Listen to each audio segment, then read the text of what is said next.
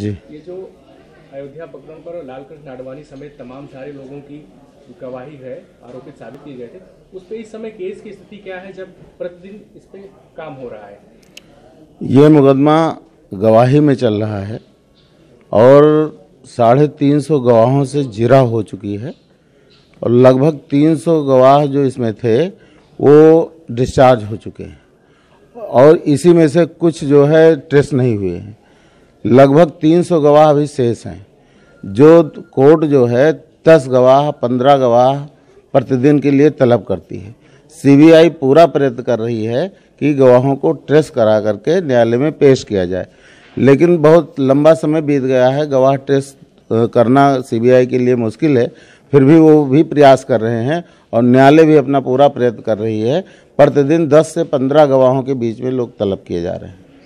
आज कुछ गवाह आए थे तो उनकी तरफ़ से क्या कहा गया? जी आज तीन गवाह आए थे जिन्होंने अपनी गवाही देने में असमर्थता व्यक्त की थी और न्यायालय से उन्होंने अपने को डिस्चार्ज होने की याचना की थी और प्रोसिक्यूशन ने उनको फिर डिस्चार्ज करा दिया अच्छा अच्छा जिस प्रकार सुप्रीम कोर्ट ने कहा था कि पूरे मामले की प्रक्रिया दो साल में पूरी हो जाए। तो आपको लगता है प्रक्रिया दो साल में पूरी हो जाएगी? समय भी काफ़ी कम बचा है। देखिए अब इसमें लगभग 300 गवाही शेष हैं।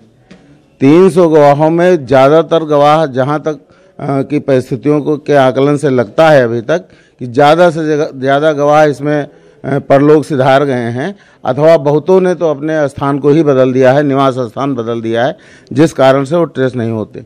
फिर भी ये संभावना है कि ये दो तीन महीने में मतलब फरवरी लास्ट मेरे समझ से ये फरवरी लास्ट तक इसकी एविडेंस पूरी हो जानी चाहिए।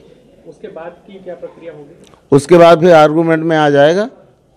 मुकदमा और आर्गूमेंट के बाद डिसाइड हो जाएगा। और मुझे लगता है कि माननीय उच्चतम न्यायालय के आदेशों का अक्षरशः पालन न्यायालय भी कर रही अयोध्या में बाबरी विध्वंस की साजिश का आपराधिक मुकदमा विशेष अदालत में चल रहा है। बीजेपी के वरिष्ठ नेता लाल कृष्ण आडवाणी समेत 33 लोगों के खिलाफ जो सीबीआई ने आरोप लगाए थे, उनके खिलाफ गवाही की प्रक्रिया अदालत में चल रही है। सीबीआई की तरफ़ से करीब 1024 लोगों को गवाही के रूप में पेश किया जाना था, जिसमें अभी तक साढ़े तीन सौ लोगों की गवाही हो चुकी है। इसके अलावा 300 से अधिक लोगों ने गवाही देने से इनकार कर दिया है। उन्होंने अदालत के सामने ये कहा कि उन्हें इसके बारे में कुछ भी नहीं कहना, जिसके बाद विशेष अदालत ने उन्हें डिस्चार्ज कर दिया है।